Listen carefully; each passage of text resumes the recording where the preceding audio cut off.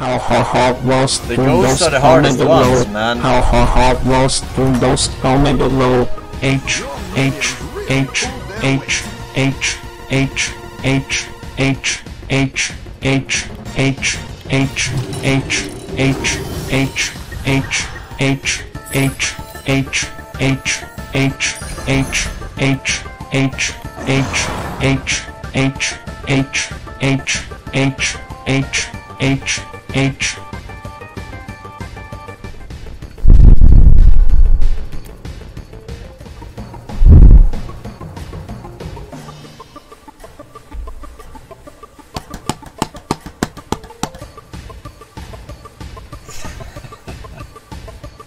That's what you get for buying an iPhone.